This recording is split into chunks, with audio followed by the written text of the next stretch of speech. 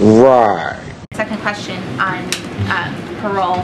The U.S. has had a humanitarian parole program that you opened for the four countries from Latin America. Um, that program is being challenged in court This is embarrassing.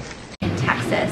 Can you talk about the implications of that case? I know that that type of parole has been a tool that the president has used repeatedly in the last two years, not just for the southern hemisphere, but for other humanitarian crises. Buddy, do you not hear how pathetic everything out of your mouth sounds?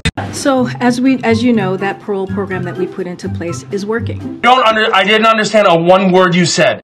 It's working. Uh, the um, it, it's it's gone down. Those four countries crossing over, uh, coming coming to the border has gone down by more than 95 percent. 90% of the time, I have no idea what the f I'm talking about. And so this is a, a this is a program that the president was able to to utilize because of the tools that he had in front of him. Remember, Congress is not acting. Republicans refuse to take action. Exactly. You know it.